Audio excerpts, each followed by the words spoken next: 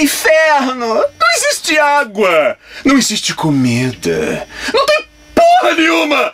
Mas televisão há!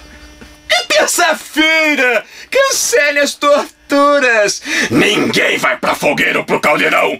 Terça-feira é dia de cultura da ação! Meninas! Super poderosas! ah, valeu, muito bom.